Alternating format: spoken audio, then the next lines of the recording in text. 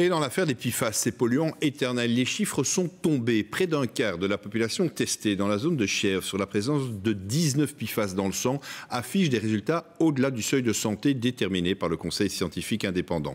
Les explications de Maïté Warland. Sur les graphiques et les PowerPoint, le résultat de près de 2000 citoyens testés. Les conclusions sont là.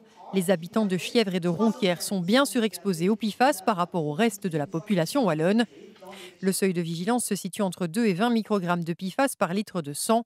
Au-delà de 20, les autorités demandent à ce que les citoyens prennent contact avec leur médecin. À Chièvre, près de 30% des citoyens testés dépassent ce seuil. À Ronquière, où l'échantillon est bien plus petit, ils sont 4% des habitants qui doivent contacter leur médecin. Il n'y a pas d'urgence à mettre en place euh, ce suivi médical, mais qu'il est conseillé dans les prochaines semaines, dans les prochains mois, pour évidemment réduire son exposition et ne prendre aucun risque pour la santé. C'est le cas de Michel Robert Froid, qui a obtenu un résultat de 42. J'ai pas du tout peur. Je suis un petit peu en colère. J'ai pris rendez-vous chez mon médecin.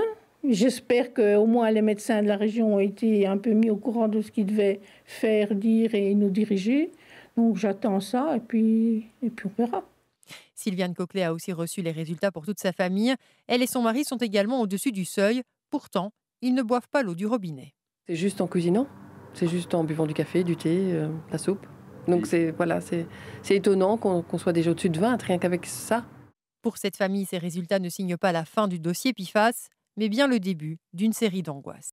Triste pour ma fille quand même parce qu'elle a plus que 10, hein, donc euh, ça c'est sûr. Et donc euh, je, me dis qu'il y a quand même des conséquences probables pour elle. Pour moi, euh, c'est plutôt dans le style, ben, j'espère sincèrement que ça ne va pas me causer des, des, problèmes et que je puisse profiter de ma vie encore.